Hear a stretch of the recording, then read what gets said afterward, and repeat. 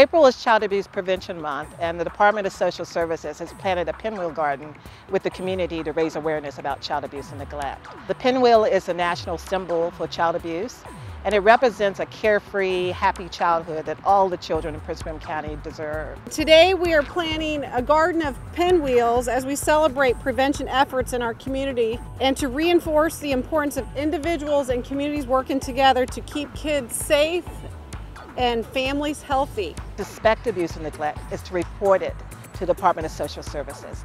And you can do that by calling our Child Protective Services hotline at 703-792-4200. If you'd like more information about services, go to the Prince William County government website at pwcgov.org and click on social services.